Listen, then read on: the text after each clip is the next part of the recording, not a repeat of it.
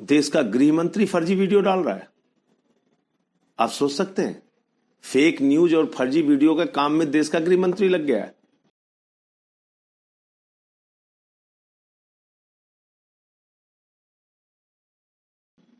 अमित शाह जी दिल्ली के चुनाव में कमान संभाले हुए हैं, लेकिन उनका एक ही काम है यहाँ, दिल्ली के बच्चों को अपमानित करना, दिल्ली के अभिभावकों को अपमानित करना दिल्ली के अंदर अपने सांसदों को लगा के ऐसे फर्जी वीडियो डालना, जिससे दिल्ली के बच्चों की, शिक्षकों की, अभिभावकों की छवि देश भर में खराब हो बीजेपी मुद्दा विहीन और नेतृत्व विहीन पार्टी है।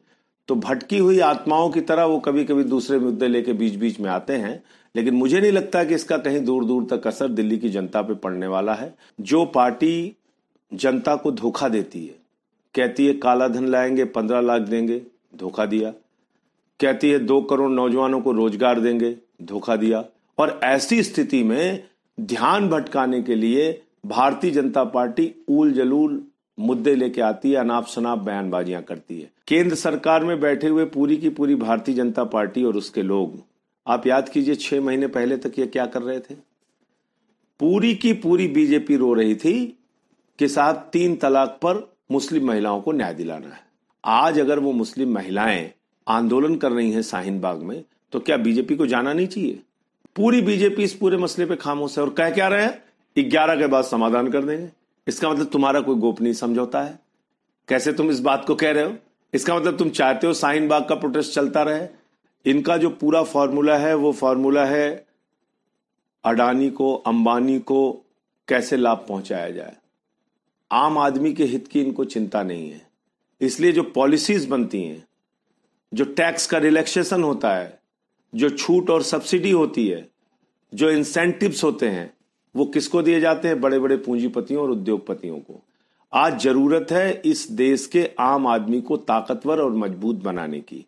तो असली मुद्दा क्या है? असली मुद्दा है देश के नौजवानों के सामने उत्पन्न बेरोजगारी। असली मुद्दा है आज की तारीख में देश के अंदर बढ़ती हुई आर्थिक मंदी।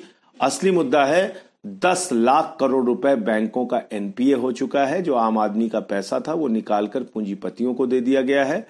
असली मुद्दा है, आज जो पब्लिक सेक्टर के अंदर उन सेक्टरों को बंद करके, उनको बेचने की जो तैयारी है, ये सारे मुद्दे हैं। इस पर बीजेपी बात नहीं करना चाहती, इसलिए ये सारे मुद्दे लेके आते हैं, नकली मुद्दे। देखिए, क्या कंपटीशन है। हम काम की बात कर रहे हैं।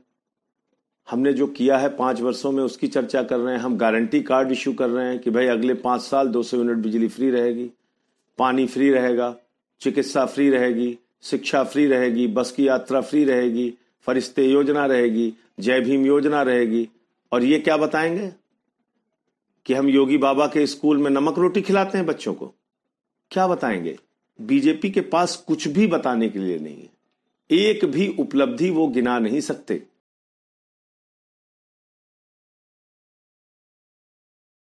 जो भाषा शैली आज भाजपाइयों की है, मुझे दिख रहा है कि मानसिक रूप से पूरी की पूरी बीजेपी विकलांग हो चुकी है।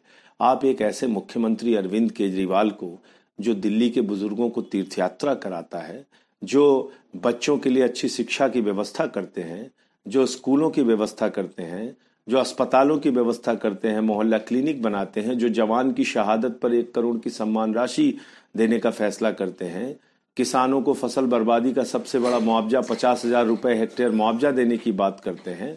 ऐसे मुख्यमंत्री को मनोज तिवारी से लेके प्रवेश वर्मा तक पूरी की पूरी भाजपा आतंकवादी कह रही है। इससे ज़्यादा शर्मनाक बात कोई हो सकती है क्या?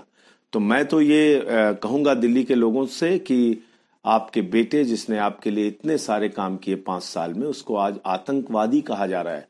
तो अब दिल्ली के लोगों को आठ फरवरी को भाजपा को सबक सिखाना है आतंकवादी कहने वालों को सबक सिखाना है।